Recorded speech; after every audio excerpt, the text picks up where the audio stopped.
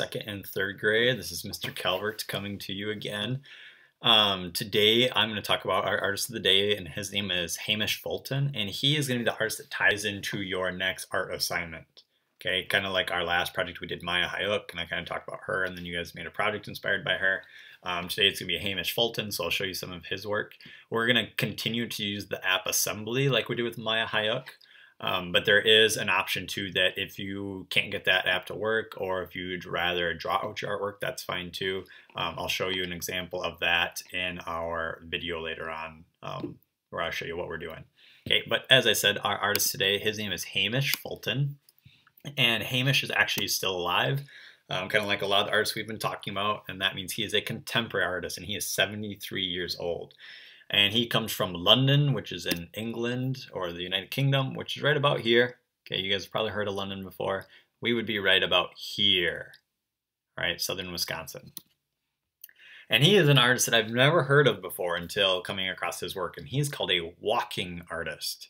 Um, so that means he makes all of his artworks based on going on walks. So things that he sees, things that he hears or smells or experiences, those are the things that he includes in his artworks. And a lot of the ways he does this is through photography or using photographs. Um, he also makes drawings or illustrations.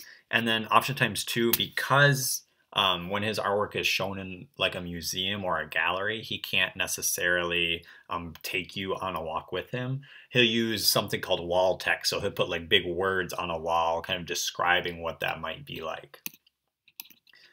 Um, so as I said, he makes his artwork by walking, but he doesn't oftentimes just put up a photograph of his walk. A lot of times he'll then layer words on top of it.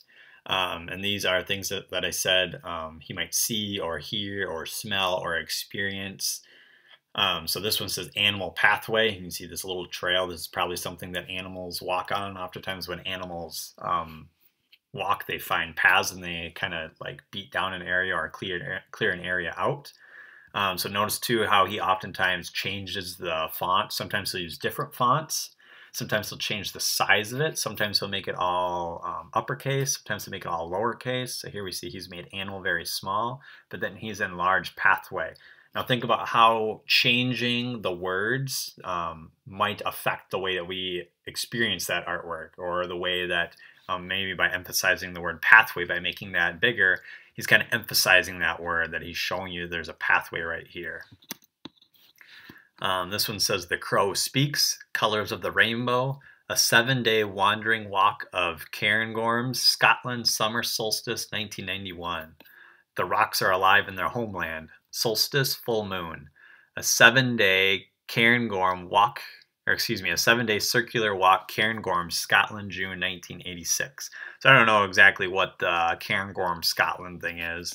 Um, but you can see how um, he changes that text size. He changes the colors of it too to probably emphasize different parts of it. He changes the spacing. You know, these are kind of grouped together. Then this line is off by itself, and then these two lines are kind of grouped together. So think about how you might want to include those your own um, text in your artwork. This one says an object cannot compete with an experience. So kind of saying how going out and experiencing things is better than um, maybe owning something walking between walks, connecting the invisible footsteps of seven previous walks. Right, so um, on your guys' project, you guys are going to be working with a photograph, whether that's a photograph that you find um, outside in your backyard, or maybe on a walk with your parents, or maybe it's a photograph of a landscape that you've already been to. You know, maybe you went out to Colorado and saw the mountains, and mom and dad have a picture of that on their phone that you could use in your artwork.